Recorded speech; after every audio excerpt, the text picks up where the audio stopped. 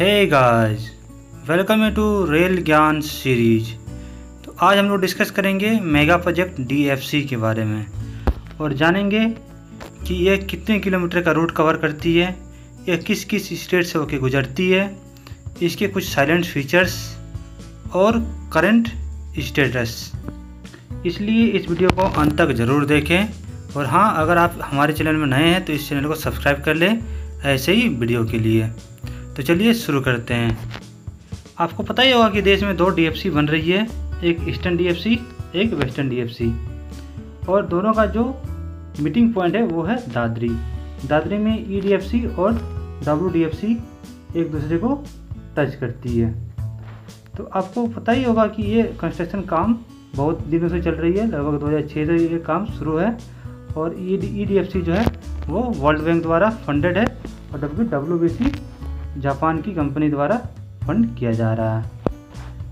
तो अब देख लेते हैं कि यह ईस्टर्न डेडिकेटेड फ़्लाइट कॉरिडोर किस स्टेट से होकर गुजरती है। तो ये ई डी एफ़ सी आपके लुधियाना से डानकुनी मतलब लुधियाना से लेकर डानकुनी तक इसका प्रोजेक्ट है। तो इसलिए पंजाब में ये अठासी किलोमीटर का एरिया टच करती है। हरियाणा में बहत्तर किलोमीटर और उत्तर प्रदेश में सबसे ज़्यादा किलोमीटर ये कवर करती है। जो कि एक हज़ार किलोमीटर। वहीं बिहार में दो किलोमीटर, झारखंड में एक सौ छियानवे किलोमीटर, वेस्ट बंगाल में 203 किलोमीटर का एरिया ये कवर करती है। और अगर टोटल किलोमीटर की बात कर ले तो यह अठारह सौ छप्पन किलोमीटर का टोटल प्रोजेक्ट है। और अब अगर देखो कि इसमें जो मेजर स्टेशन किस किस से होकर गुजरती है तो है डानकुनी, अंडाल, गोमो, सोननगर गंज, ख्वाजा, मुगलसराय, जोनाथपुर, नैनी, चौकी, प्रेमपुर, भावपुर, टुंडला, दाऊद खान कुर्जा कालानौर, राजपुरा, सिरहिंद। इस तरह से आपको अलग अलग स्टेशन देखने को मिलेंगे और वही ये टोटल छः स्टेट को कवर करती है। अगर बात करें ई की फीचर्स के बारे में तो ई e दो सेगमेंट में बटा हुआ है। एक तो 1409 किलोमीटर के एरिया जो कि डानकुनी से कुर्जा तक मतलब वेस्ट बंगाल के डानकुनी से लेके कुर्जा उत्तर प्रदेश तक 1409 किलोमीटर का एरिया है। उसमें डबल ट्रैक बिछाया जाएगा मतलब एक अप, एक डाउन लाइन बिछाया जाएगा। वही चार सौ सैंतालीस किलोमीटर का जो एरिया है, कुर्जा से लेके लुधियाना तक, वो सिंगल लाइन का होगा। मतलब सिंगल पटरी उसमें बिछाया जाएगा। तो अगर बात करें इसके ट्रैफ़िक के बारे में तो नॉर्थ इंडिया को सबसे ज़्यादा इसमें प्रॉफिट होगा। क्योंकि नॉर्थ इंडिया का जो दिल्ली, हरियाणा, पंजाब का पार्ट है, उसमें जितने पावर प्लांट लगे हुए हैं थर्मल पावर प्लांट उसके लिए जो कोल की आवश्यकता होती है, वो ईस्टर्न पार्ट से आती है। जैसे कि झारखंड हो गया, छत्तीसगढ़ हो गया, उड़ीसा हो गया, वहाँ से होकर आती है। तो यहाँ पे अगर नया ट्रैक बनता है तो उसकी सप्लाई बहुत ही स्पीड होगी और टाइमली होगी। और अगर बात करें डाउन लाइन की तो डाउन लाइन से सबसे ज़्यादा प्रॉफिट होगा स्टील पावर प्लांट को। क्योंकि राजस्थान से जो लाइम स्टोन निकलती है, जो कि स्टील पावर प्लांट के लिए सबसे ज़्यादा महत्वपूर्ण होती है, जैसे कि जमशेदपुर में जो स्टील पावर है, दुर्गापुर में जो स्टील पावर प्लांट है, और भी जो स्टील पावर प्लांट है ईस्टर्न पार्ट में, उसको लाइम स्टोन राजस्थान से भेजे जाएँगे। और भी बहुत सारे गुड्स का ट्रांसपोर्टेशन होगा, जैसे कि फ़ूड ग्रेन सॉल्ट ईटीसी तो अगर बात करें कि अप लाइन की तो 2021-22 के टारगेट में 116 मिलियन टन का यहाँ टारगेट रखा गया है। वह डाउन लाइन में 28 मिलियन टन का टारगेट 2021-22 में रखा गया है। अब बात कर लेते हैं डब्ल्यूडीसी के साइलेंट फीचर्स के बारे में। तो ये जो टोटल किलोमीटर प्रोवाइड करती है वो 1504 किलोमीटर के टोटल प्रोजेक्ट है, जो डबल लाइन है। और उस पर जी ओ का जो इलेक्ट्रिफिकेशन होगा, वो two into twenty five kilo volt traction होगा। और ये जवाहरलाल नेहरू पोर्ट से रेवाड़ी से होते हुए दादरी को ईस्टर्न डेडिकेटेड फ़्लाइट कॉरिडोर को टच करेगी।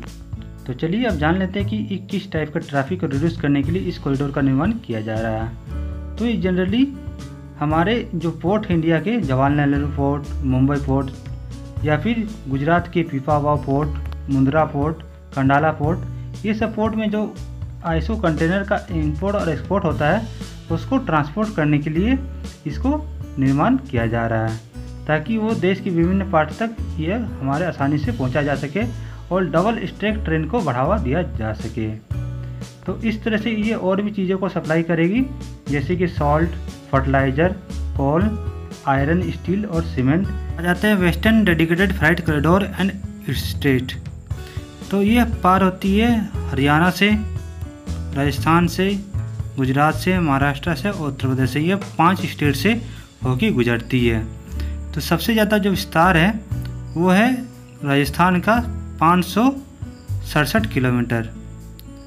वही हरियाणा के 177 किलोमीटर है, गुजरात का पाँच सौ पैंसठ किलोमीटर है, महाराष्ट्र का 177 किलोमीटर है और उत्तर प्रदेश का सबसे कम है 18 किलोमीटर। और यह टोटल पाँच स्टेट से होकर गुजरती है। आपको पता ही होगा कि हाल ही में पालनपुर से बोटाद तक electric double stack container train चलाया गया है। जो कि वेस्टर्न रेलवे द्वारा चलाया गया है और वो डीएफसी को आगे जाके पालनपुर में जोड़ती है। मैं इस पर भी एक वीडियो बना चुका हूँ। अगर आपको वीडियो देखना है तो आप हमारे डिस्क्रिप्शन बॉक्स में जाके उस वीडियो को देख सकते हो। तो चलिए अब बात कर लेते हैं कि यह प्रोजेक्ट कब तक कंप्लीट हो जाएगा। तो दोनों ही प्रोजेक्ट का लास्ट डेट दिसंबर 2021 अभी रखा गया है। बट इसके डिफरेंट डिफरेंट पार्ट अभी बन के कुछ रेडी हो चुके हैं और कुछ 2020 में ही कंप्लीट होने वाले हैं।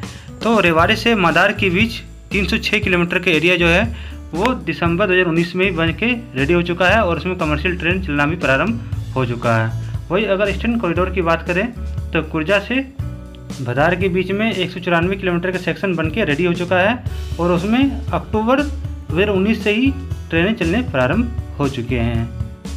डिफरेंट डिफरेंट सेक्शन के लिए डिफरेंट डिफरेंट टारगेट डेट रखा गया है, क्योंकि यहाँ अलग अलग कॉन्ट्रैक्टर काम पे लगे हैं। सारे सेक्शन का टारगेट डेट आपको यहाँ पे मिल जाएगा। आप यहाँ पर इस इमेज में देख सकते हो। तो ये लॉकडाउन की वजह से थोड़ा एक्सटेंड हो सकता है बट ये 2021 या 22 तक बन के रेडी हो जाएगा। तो उम्मीद है ये वीडियो आपको पसंद आएगा। अगर ये वीडियो आपको पसंद आए तो इस वीडियो को लाइक करें, अपने दोस्तों के साथ शेयर करें। और हाँ इस चैनल को सब्सक्राइब कर लें ऐसे ही वीडियो के लिए। और अगर आपको कोई डाउट हो तो कमेंट कर सकते हैं, हम आपके कमेंट के जल्दी रिप्लाई देंगे। धन्यवाद।